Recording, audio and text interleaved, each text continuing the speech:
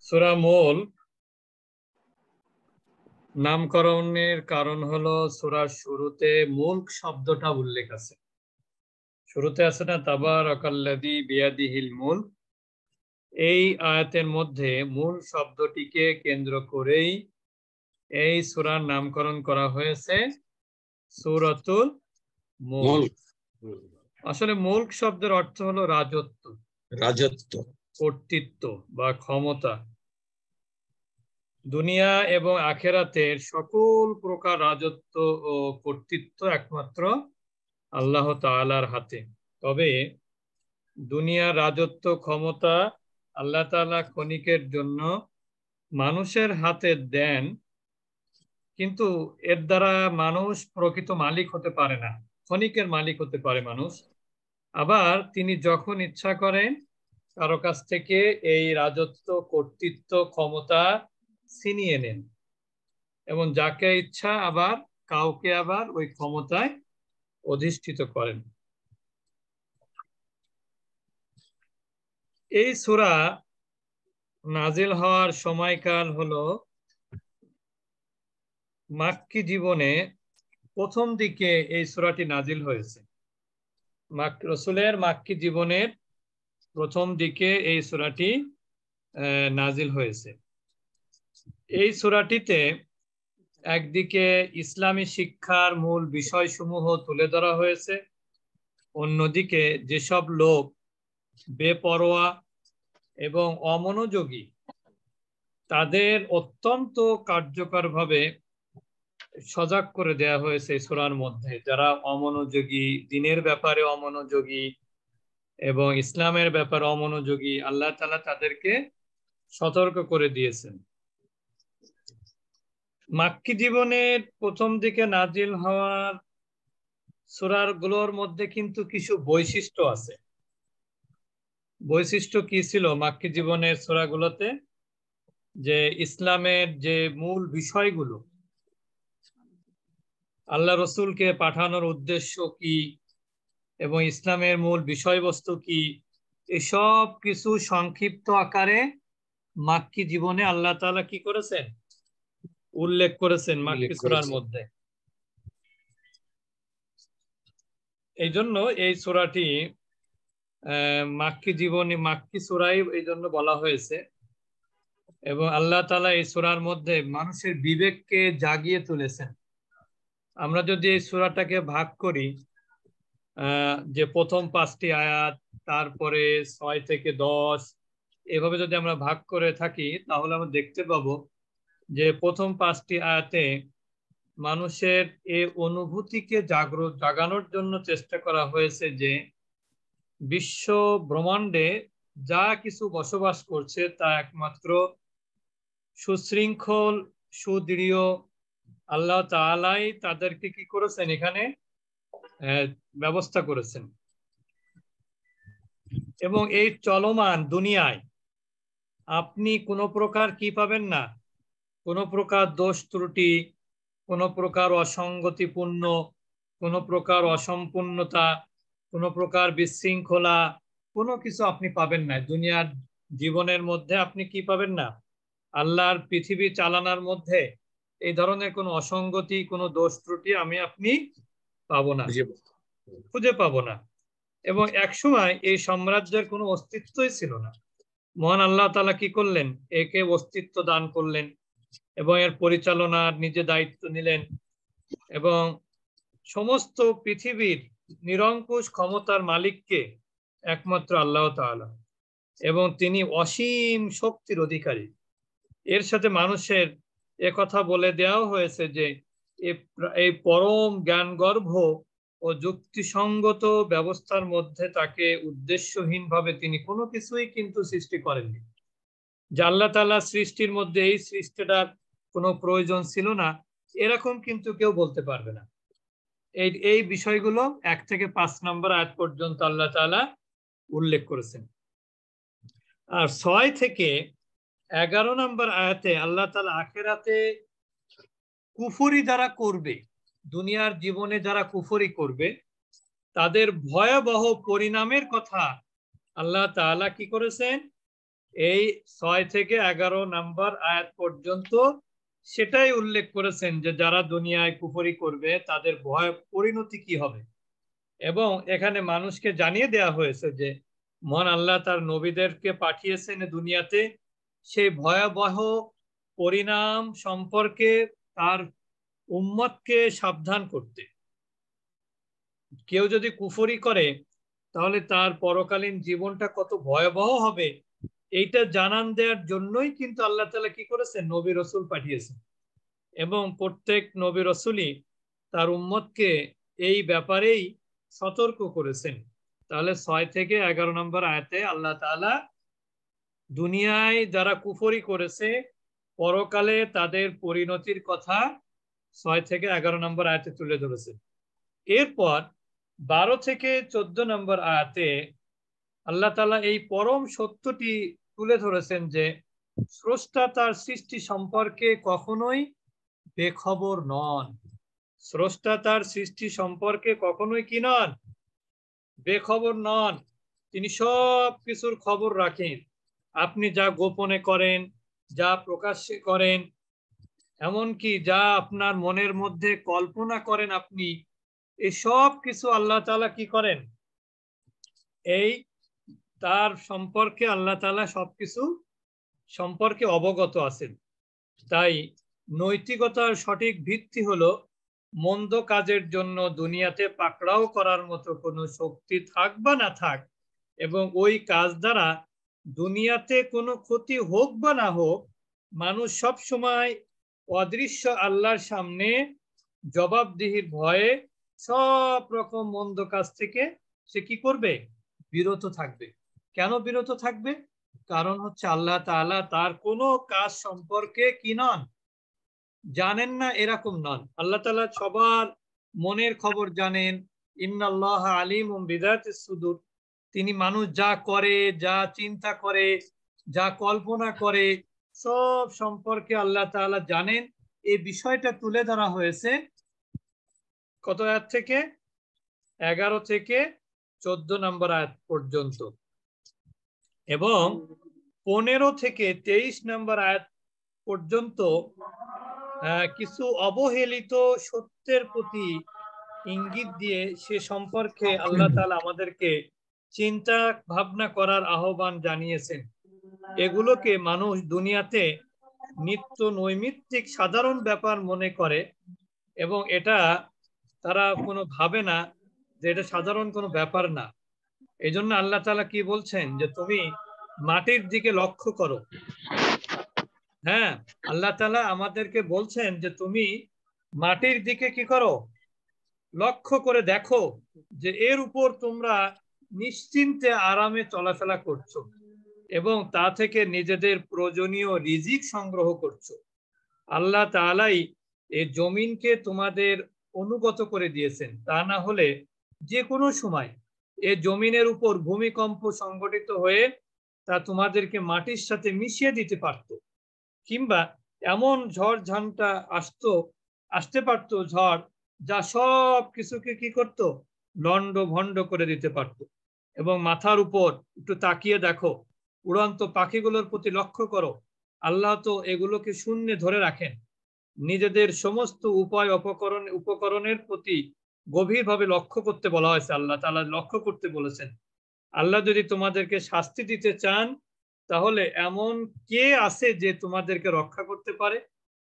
আর আল্লাহ যদি তোমাকে, তোমাদেরকে রিজিকের দরজা দরজা বন্ধ করে দেন তাহলে এমন কি আছে তা সেই দরজা খুলে দিতে পারে?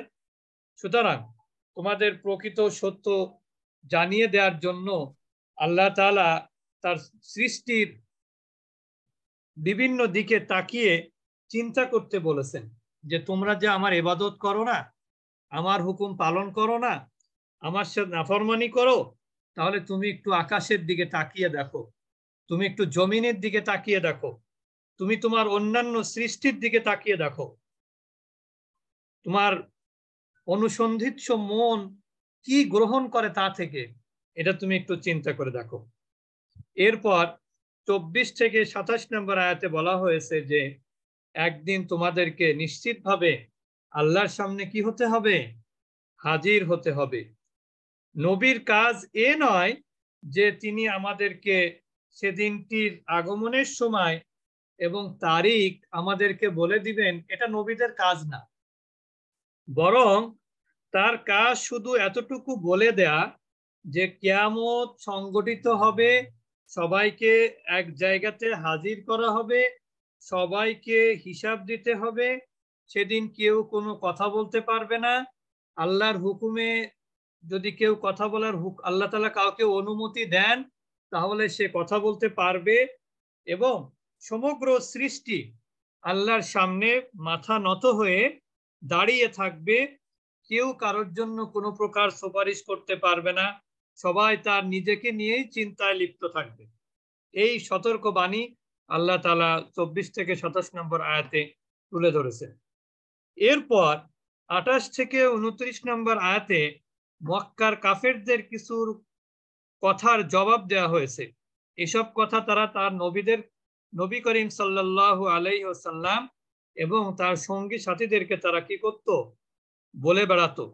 তারা নবী করিম সাল্লাহ সাল্লামকে অভিশাপ দিত এবং তার ও ইমানদারদের ধ্বংস হয়ে যাওয়ার জন্য বদোয়া করত তারা। এবং তাই বলা হয়েছে যে, তোমাদেরকে সৎপথদের দিকে আহ্বানকারীরা ধ্বংস হয়ে যাক বা আল্লাহ তাদের প্রতি রহম করুক, তাতে তোমাদের ভাগ্যের পরিবর্তনে কি করে হবে? বরং তোমরা নিজেদের জন্য চিন্তা করো। আল্লাহর আজাব যদি তোমাদের উপর এসে পড়ে, তাহলে কে আছে তোমাদেরকে রক্ষা করবে?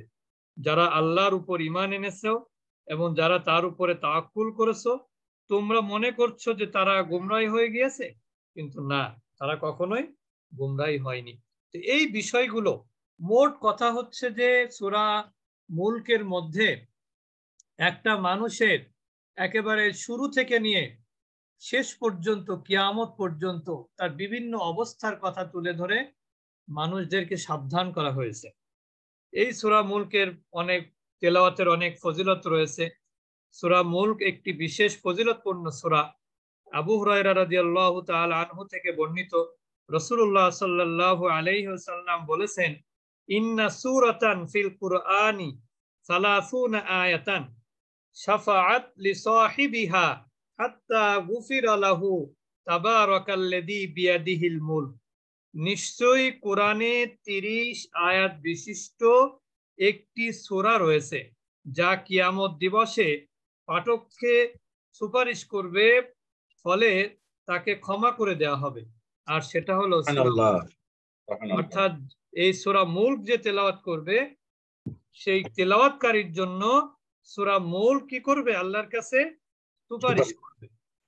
হজরত আনাস রাজি আল্লাহ আনহু থেকে বর্ণিত রসুল্লাহ সাল্লাহ সাল্লাম বলেন কোরআনে একটি সুরা আছে যা পাঠকের জন্য আল্লাহ তালার সাথে ঝগড়া করবে।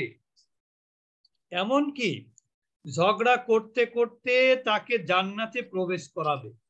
আর সেটা হলো সুরা মুল সেটা হলো কি?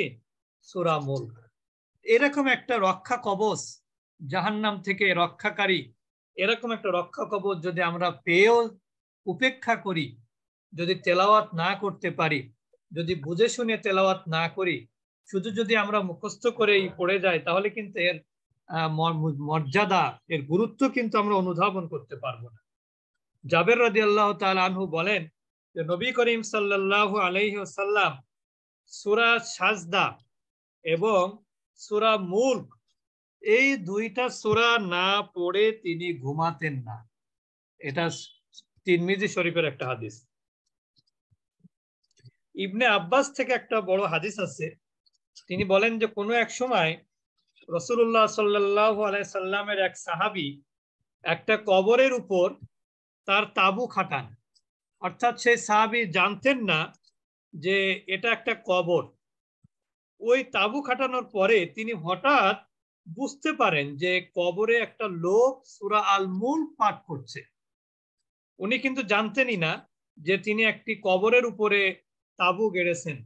কিন্তু উনি কিছু সময় পর উনি শুনতে পাচ্ছেন সেই কবর থেকে সুরা মূল তেলাওয়াত করা হচ্ছে। এবং সেই সুরা মূল তেলাওয়াত সমাপ্ত করেছেন, যিনি তেলাওয়াত করেছেন আর কি, কবরবাসী।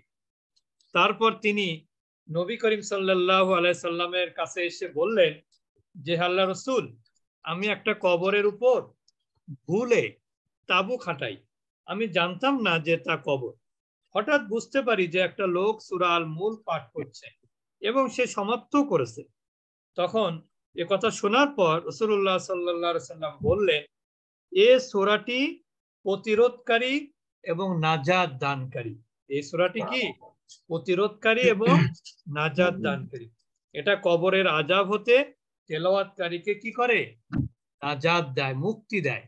অর্থাৎ যে ব্যক্তি সুরা মূল তেলাওয়াত করবে রেগুলার, তাহলে তার কবর, কবরের আজাব থেকে সে কি হবে? পরিত্রাণ পাবে।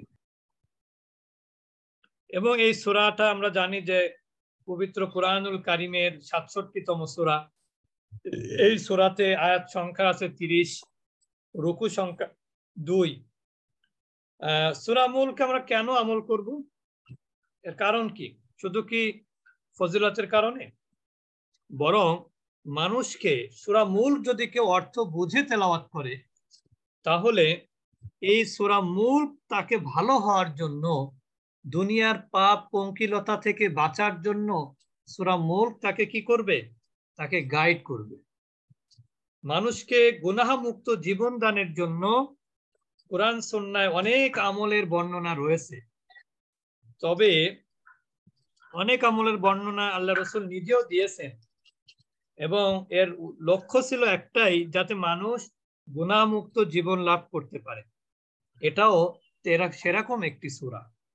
এবং হাদিসের একাধিক বর্ণনা এসেছে যে হজরত ইবনে আব্বাস রাজি আল্লাহ আনহু এক ব্যক্তিকে বললেন যে আমি কি তোমাকে এমন একটা হাদিস শোনাবো যা শুনে তুমি খুশি হবে? উত্তরে সে বলল হ্যাঁ শোনান। ইবনে আব্বাস রাজি আল্লাহ আনহু বললেন, তুমি নিজে সুরা মূল পড়ো এবং পরিবারের সবাইকে ও প্রতিবেশীদেরকে উহা শিক্ষা দাও। কারণ কি?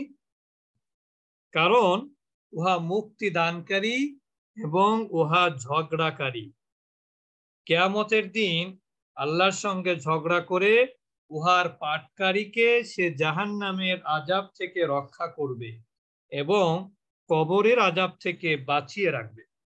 রসুল্লাহ সাল্লাহ সাল্লাম বলেছেন, আমার একান্ত কামনা, আমার একান্ত কামনা কে বলেছেন? আল্লাহ রসুল।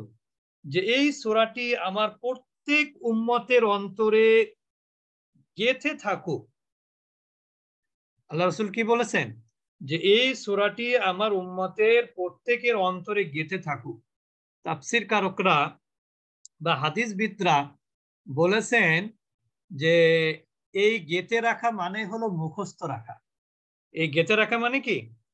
মুখস্থ রাখা। তার মানে উনি চান যে আমার উম্মতের সকলেই কি করুক সুরা মূলটা মুখস্থ করে ফেলুক। এটাই আল্লাহ ইবনে কাসির তাফসির কারকটা তিনি বলেছেন। হজরত আবু রাজি তালা আনহু বর্ণনা করেন যে কোরআন মজিদে তিরিশ আয়াত বিশিষ্ট একটি সুরা রয়েছে যা তার তেলাওয়াতকারীকে ক্ষমা করে দেওয়ার আগ পর্যন্ত তার জন্য সুপারিশ করতেই থাকবে।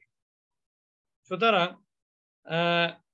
আরেকটা হাদিস আছে, ইবনে আব্বাস রাজিয়াল্লাহ তালু বলেছেন যে, তোমরা সুরা মূল শিখে নাও এবং নিজেদের স্ত্রী সন্তানদেরকে শেখাও। এটা কবরের আজাব হতে রক্ষা করবে। এখন প্রশ্ন হলো, সুরা মূলকে আমরা কখন পড়ব? সুরা মূলকে আমরা কখন পড়ব? সুরা মূলক রাতের বেলা পড়া উত্তম। তবে অন্য যে কোনো সময় পড়া যাবে। সুরাটি অর্থ বুঝে নিয়মিত পড়ায় রয়েছে অনন্য তাৎপর্য। আবারও বলছি এই সোরাটি অর্থ বুঝে পড়ার মধ্যে রয়েছে কি? তাৎপর্য রয়েছে, বিশেষ তাৎপর্য রয়েছে। এ সোরা নামাজের সঙ্গে পড়াও। বলেছেন কেউ কেউ যে এই সোরা নামাজের মধ্যে পড়া উত্তম। মুখস্থ না থাকলে দেখে দেখে অর্থ বুঝে পড়লে বিশেষ সব পাওয়া যায়। যদি কেউ এই সুরাটি মুখস্থ না করতেও পারে, তবে সে যদি দেখে দেখেও পড়ে, রাতের বেলা শোয়ার সময় তাহলে সে সোয়াব লাভ করবে। তাহলে আমরা বুঝতে পারলাম যে সোরা মুখটা কখন তেলাত করতে হবে? রাতের বেলায়। মানে হ্যাঁ। এই সোরাটি কখন তেলাত করতে হবে? রাতের বেলায়। এবং আলহামদুলিল্লাহ যে কোনো ভাবেই হোক না কেন আমাদের কিন্তু সোরা মুলকের ক্লাস কিন্তু রাতেই হয়। ঠিক না? আমাদের সোরা মুলকের ক্লাসটা রাতের বেলায় হয় এবং ইনশাল্লাহ আমরা আজকে প্রথম দিন আপনাদের উপস্থিতির জন্য আপনাদের প্রতি কৃতজ্ঞতা প্রকাশ করি আল্লাহর কাছে দোয়া করি। আল্লাহ যেন আজকে আমরা সোরা মুল্ক সম্পর্কে যা কিছু শুনলাম সেগুলোর উপর আমাদের জন্য আমল করা তৌফিক দান করেন। আমরা চেষ্টা করব যে এই সোরা মুলকটা অর্থ সহ মুখস্থ করে দিতে। আমরা অলরেডি একবার সোরা মুলকটা মুখস্থ করেছি অর্থ ছাড়া। এখন আমরা আপনাদের প্রস্তাবনা বা আমাদের একটু টার্গেট ছিল যে সোরা মুলকটা আমরা অর্থ সহ মুখস্থ করে আমরা সবাই শোনাবো। আজকে আর আমরা পড়াতে যাব না। শুধুমাত্র বলব দেখেন আপনি পড়া দিতে পারেন বা না পারেন আমাদের কিন্তু পড়া দেওয়ার সুযোগ আছে যে ক্লাসে শুধু পড়া দেয়া না। অনেকে আছেন আপনাদের এখানে ক্লাসে আছেন তারা কিন্তু আমাকে রেকর্ড করে করে পড়া দিয়েছেন আমাকে অনেকেই। অনেকে ক্লাসে পড়া দেননি কিন্তু রেকর্ড করে করে পড়া দিয়েছেন এবং আমরা কিন্তু সে রেকর্ডটার প্রত্যেকটা আয়াত আমরা চেষ্টা করেছি সময়ের মধ্যে সেগুলোর আউটপুট দিতে এবং এখানে মানে কয়েকজন আপাতত রেগুলার দেন। তারা ভালো করে জানেন। যে আমি চেষ্টা করি মোটামুটি এই সুরা কেউ যদি পড়া দেয় তাহলে প্রত্যেকটা আয়াত ধরে ধরে কারেকশন করে দেওয়ার চেষ্টা করেছি আমি। তা আপনাদের কাছেও বলা থাকবে আপনারা সুরা মুলকের ক্লাসে আসেন নিজেরা আসেন। যদি ক্লাসে পড়া দিতে সমস্যা মনে করেন লজ্জা পান তাহলে আপনি রেকর্ড করে আমাকে সরাসরি হোয়াটসঅ্যাপে দিলেও আমি ইনশাল্লাহ পড়া নিয়ে নিব। এবং আপনাদের সবাইকে আবারও কৃতজ্ঞতা প্রকাশ করছি। আপনাদের প্রতি দোয়া রইল। আর আমাদের বিভিন্ন ক্লাস রয়েছে যে ক্লাসগুলোতে আপনারা উপস্থিত থাকতে পারেন। এবং আরেকটা সুসংবাদ দিচ্ছি সেটা হলো আমরা আমি প্ল্যান করেছি। এখন আপনারা যদি রাজি থাকেন তাহলে সমস্যা কোনো সমস্যা নেই। আমরা আমি প্ল্যান করেছি রমজান মাসে পহেলা রমজান না রমজানের একদিন আগ থেকেই এই রুটিনে ক্লাস হবে।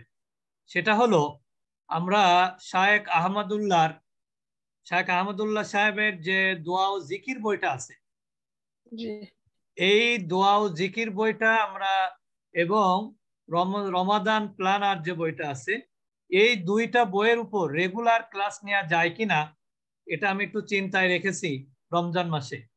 যে প্ল্যানার রমাদান প্ল্যানার বইতে যেভাবে প্ল্যান করা আছে, এই প্ল্যান ওয়াইজ যদি আমরা প্রতিদিন ক্লাসে যেরকম আছে একটা কোরআনের আয়াত মুখস্থ করা, একটা হাদিস মুখস্থ করা, তারপর অন্যান্য আমলগুলো আপনি টিক দিবেন আপনার বইতে আর ওইগুলো মুখস্থ করে আমাদেরকে শোনাবেন। এইরকম একটা করে ক্লাস আমি রাখতে চাচ্ছি। এই রমাদান মোবারকে অন্তত পক্ষে তিরিশটা রমাদানে যেহেতু যতদূর পারা যায় আর কি আমরা চেষ্টা করব ক্লাসগুলো যতদিন চালানো যায়। আমরা এর উপর আমরা ক্লাস করব ইনশাল্লাহ রমাদান প্ল্যানারের উপর অথবা দোয়া ও জিকিরের উপর। দুইটাও হতে পারে আবার যে কোনো একটাও হতে পারে। এটা আমরা আমরা জানিয়ে দেব ইনশাল্লাহ আপনাদেরকে। আর আমাদের বেশ কিছু নতুন ক্লাস শুরু হয়েছে অনেকে তাজবিদের ক্লাস শুরু হয়েছে আমাদের একটা নতুন সোম মঙ্গলবার বিকাল তিনটায় হয়। এবং রাতে একটা তাজবিদের ক্লাস শুরু হয়েছে। রাত নয়টায় হয় শনি রবিবারে। চাকরিজীবী বা ব্যবসায়ী যারা আছেন, তাদের সুবিধার জন্য আমরা রাত নয়টায় দিয়েছি। এই ক্লাসগুলো আছে। এরপর পুরাণিক গ্রামারের ক্লাস শুরু হয়েছে। একেবারেই শুরুতে আছি আমরা। এটা হয় সোম মঙ্গলবারে সন্ধ্যা সাড়ে ছয়টায়। এটা আমাদের কয়েকটা, দুই, তিনটা ক্লাস হয়েছে এবং এই ক্লাসেও আপনাদের দাওয়াত রইল। ফিফটি পার্সেন্টের ক্লাস শুরু করেছি আমরা। দুইটা। সেখানেও দাওয়াত রইল। আমাদের রুটিনটা পেলে আপনারা বুঝতে পারবেন যে আমাদের কখন কোন ক্লাসগুলো হয়। তা আগামীকাল সাড়ে সাতটায় এই সুরা মুলকের প্রথম সবক হবে ইনশাল্লাহ অর্থ সহ সবক। কালকে পড়া দিব, পড়া নিব হচ্ছে আগামী বুধবার। আগামী বুধবার কত আয়াত করে পড়া দিব সেটা আমরা কালকে বলে দিব ইনশাল্লাহ যে যত আয়াত অর্থ সহ পড়তে হবে অর্থটা হচ্ছে বুঝতে হবে আর কি। তা আল্লাহ তালা আমাদের সবাইকে আগামীকালের ক্লাসে উপস্থিত থাকার তৌফি দান করুন। আমিন। আল্লাহুম্মা আমিন।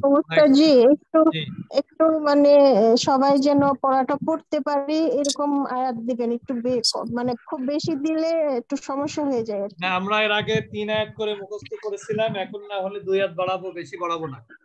মানে তিন আয়াত পর্যন্ত সর্বোচ্চ পাঁচ দিন না ওস্তাদজি। হ্যাঁ? আপনাদের তো মনে- তিন আয়াত মুখস্থই আছে। না উস্তাদজি আপা আপা ওই কারণে বলেন না এই যে যখন আলহামদুলিল্লাহ এখন পার্টিসিপেন্টস আছে এদের কমপ্লিট করে ঠিক আছে তাহলে আমরা হ্যাঁ তিন আয়াত পর্যন্ত দিব। আমার মনে হয় রমজানের মধ্যে শেষ হয়ে যাবে অর্থ সহ জি জি ইনশাআল্লাহ আমরা তো নতুন আমরা একবারও পড়িনি এই প্রথম ক্লাস আচ্ছা ঠিক আছে তাহলে তিন আয়াত তিন আয়াত তিন আয়াত করে ইনশাআল্লাহ। আসসালামু আলাইকুম উস্তাদি। ওয়ালাইকুম আসসালাম। আসসালামু আলাইকুম। ওয়ালাইকুম আচ্ছা যা আমরা ক্লাসটা যদি করতে না পারি কাজের কারণে রেকর্ডটা কি দিয়ে দিবেন রেকর্ড দিব এবং আপনাদের পড়াও আপনারা রেকর্ড করে আমাকে পাঠাতে পারবেন। ওকে ঠিক আছে উস্তাদি। ঠিক আছে? যারা ক্লাসে আরেকটা রিকোয়েস্ট ছিল আপনাদের ক্লাসের রুটিনগুলো যদি আরেকবার আমাদেরকে সেন্ড করতেন খুব ভালো হতো। আচ্ছা আমরা টা- ক্লাসের রুটিনটা তো সবগুলো মুখস্থ বলা সম্ভব না তো রুটিনটা আমরা গ্রুপে দিয়ে দিই। ফারহান আপা আপনি কি কোন গ্রুপে অ্যাড আছেন? ফারহান আপাকে বলছি। আহ, না আমি আজকে প্রথম আপনাদের এখানে না মানে আপনার নাম্বারটা না দিলে আপনি তো গ্রুপে দিলে আপনি পাবেন না। আপনি আচ্ছা, যারা একবারেই নতুন তাদেরকে আমি দুইটা নাম্বার দিচ্ছি এই দুইটা নাম্বারে যোগাযোগ করে প্রথম আপনাদের এখানে মানে আচ্ছা আমি নাম্বার দিচ্ছি দুইটা। এই দুইটা নাম্বারে যোগাযোগ হোয়াটসঅ্যাপে যোগাযোগ করলে আমরা আপনাদেরকে গ্রুপে অ্যাড করে দিব।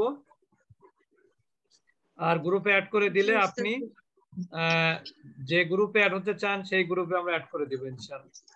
এটা হচ্ছে আমার নাম্বার সন্ধ্যার পরে এই সময়টা আমাদের সাড়ে সাতটায় সাড়ে সাতটায় হবে ইনশাআল্লাহ। জি জি জি। আচ্ছা আর একটা নাম্বার হচ্ছে zero one seven double one four six নাকি? Four zero. Four zero. এই যা ভুল হয় ফোর জিরো এইট সিক্স। জি। জি। Double three. এটা হচ্ছে আমাদের ইঞ্জিনিয়ার আমি আমি ইঞ্জিনিয়ার ওয়াহিদুল আলম ভাইয়ের নাম্বার। জি বলেন। ওস্তাদ জি যদি আমরা রমজান ইয়ে করে করি মানে হিসাব করে করি তাহলে তো ক্লাস হবে চার সপ্তাহে আটটা। আবার লাস্ট উইকে যদি ক্লাস না হয় তাহলে আমরা ক্লাস পাবো ছয়টা। আচ্ছা দেখা যাক। আর আমরা এমনি আমরা তো এমনি রমজানে অন্য ক্লাস কমিয়ে দিব। শুধু এই ধরনের ক্লাস রাখব হ্যাঁ তাহলে একটু রেগুলার করলে হবে তা না হলে তো হবে না। আচ্ছা দেখা যাক আমরা রেগুলার কি করা রমজানের রুটিন আলাদা হবে ইনশাল্লাহ ইনশাআল্লাহ আর হচ্ছে যে আমাদের মানে শাইকের ওইটা আমরা করতে চাই। যেহেতু রমজান প্ল্যানারটা আমরা আগে থেকে সংগ্রহ করেছি ইনশাল্লাহ। কিন্তু ওইটা যদি একদিন আগে থেকে হতো তাহলে আমরা জাস্ট প্রতিদিনেরটা প্রতিদিন আমল করে আমাদের একদিন আগে থেকে শুরু করব আমরা ইনশাল্লাহ। জি ইনশাল্লাহ। আপনারা নোটিশ পেয়ে যাবেন। আমাদের পেজে লাইক দিয়ে রাখেন আমরা পেজেও দিয়ে দিব গ্রুপেও দিয়ে দিব। আমরা একদিন আগে শুরু করব ইনশাল্লাহ। ইনশাআল্লাহ জি, আলহামদুলিল্লাহ। তা ঠিক আছে আমরা একটু দোয়া পড়ে শেষ করব।